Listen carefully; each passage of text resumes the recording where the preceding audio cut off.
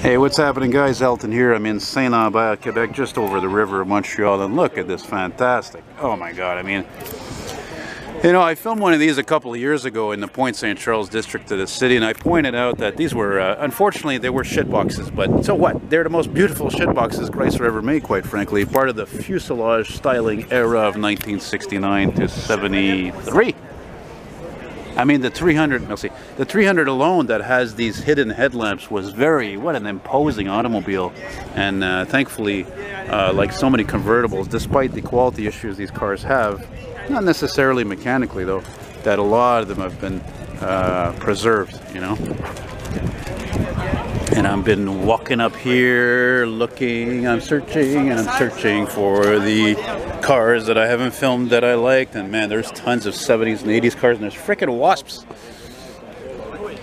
And I bet you a hundred bucks that's the original sand khaki color. Look at that, eh? Yeah, man.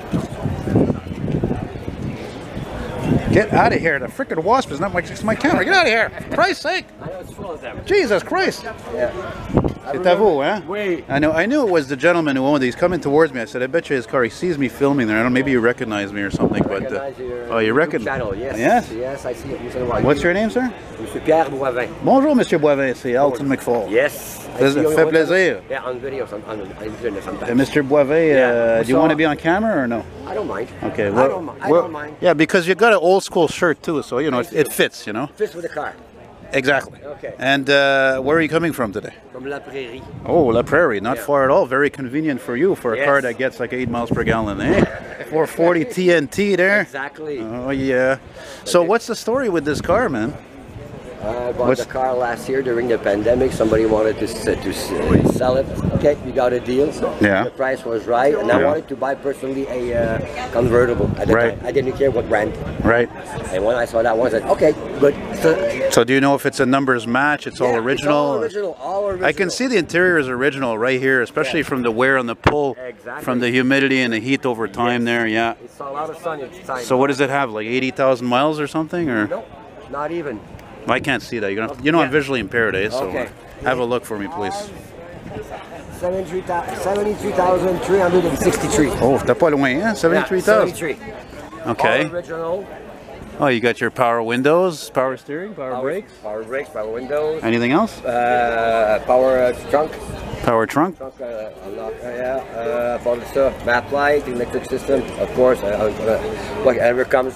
Got the uh, lighter in the back. What is this here for? Okay, this is to pull up. Oh, The okay, seat. ben oui. Stupid me. No, no. Nobody's, nobody's perfect. No, because a lot of cars you would just push the seat back, Yeah. right? You But know. that, that one locks. That, them locks.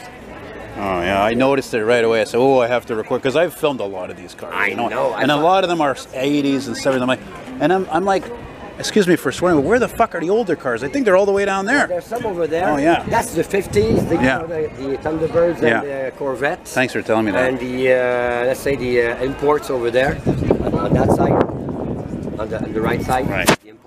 Oh man, you see how bad my memory is. I met Yeah. this gentleman already in St. Anne de Bellevue. Yes, we did. He had a beautiful uh, orangey, copper, Brown, copper, copper, yeah, copper. copper and Yeah. white interior. Oh, car was Yeah, gorgeous. I know. Still have it?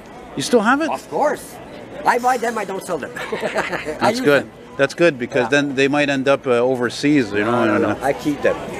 I always like how they did this. Eh? They put the 300 in letters. Yeah. You know, kind of make it more. I think they did that was, too it was eh? on the side. 69 was here. Oh 70 yeah. is here. I was gonna look for it here. and you- no. yeah, you pointed it out. 69, 70. The Right on. change a bit.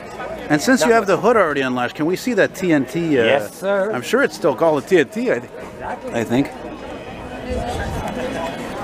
Man, I'm gonna have to take a break after. All I had to eat was an apple. I'm never hungry in the morning because I have two cups of coffee, you know. Mm-hmm. Mais venir ici, ça a été un ras-le-bol. Fait que, Yeah, from uh, no, because I live in Hochelaga and I took the metro to Longueuil Metro and I get to the Tim Hortons there and it's like 20 people waiting in line and then I said, Ah. shit, I'm gonna miss my bus, you know. So, uh.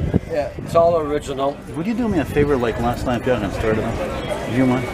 Because you know it's a Mopar. We have to hear the 4 I know, you it's know. a Mopar. I have to hear it, you know. It's a capricious Mopar, that one. Well, we'll see if it starts. Oh, it'll start, no problem. it's capricious. Hey, my friend Lemire. Oh, you're on camera though. Oh. Oh, yeah. Wait a minute, wait a minute.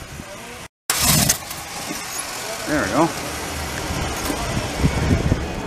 I'm starting to regret asking you now.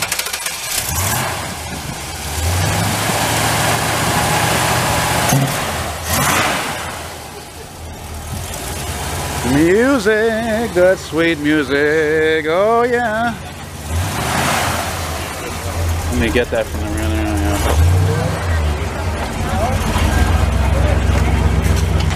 Oh yeah, I may not drive legally, but I live vicariously through people with cars.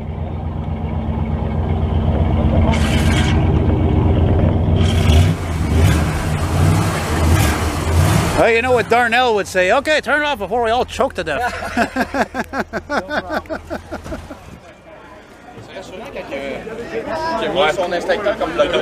yeah, that's weird. I think it's a loose connection somewhere. That's the Bendix inside the starter. I have to take it off. Oh, That's- really? Yeah, that's okay. I thought it was one of the No, one of the no, no, cables no, or something. This is all okay. It's, on- it's, it's on the starter. I have to just uh, uh, unhook Man, it and- folks gonna so you have to know this stuff Yeah, because know. that's But that's the it's thing. If you're a younger guy, you want to buy it, and you got the money, that's great. But you got to do research. You got to know there's they have certain little things that that's when I started saying about the quality Yeah. is going down the 70s and. You know, it's not to be a prick. It's just you have to be aware they're amazing cars, but they have a lot of little things. You know, the are quality very was- good motors. The motors are great. They're Yeah, great the motors. transmission's great. Best transmission in It's just America. all the other stuff. Yeah. The rest know, is okay. that's it. But if you drive the car regularly with no oh, regular, no, no I- problem.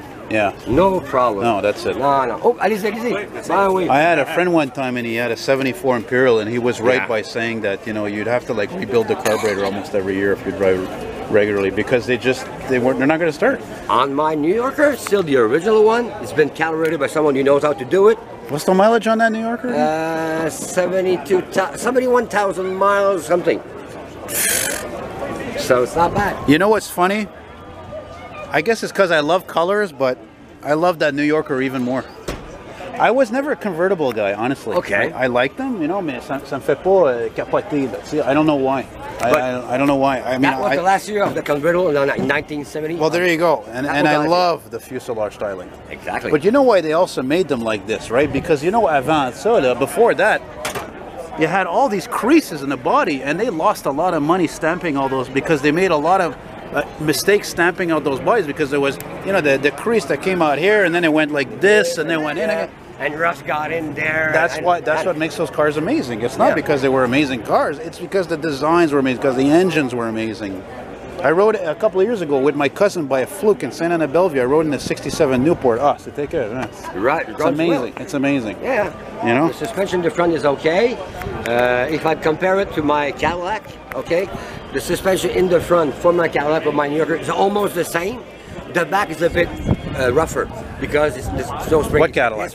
I have a 88 Cadillac Fleetwood also. Oh, that's funny. I just spoke with an old lady over there. She's got one there. She's the original owner with 18,000 mile kilometers. Over there? Yeah, way down there, two blocks away. Faut que tu- ouais, Vraiment gentil, la madame.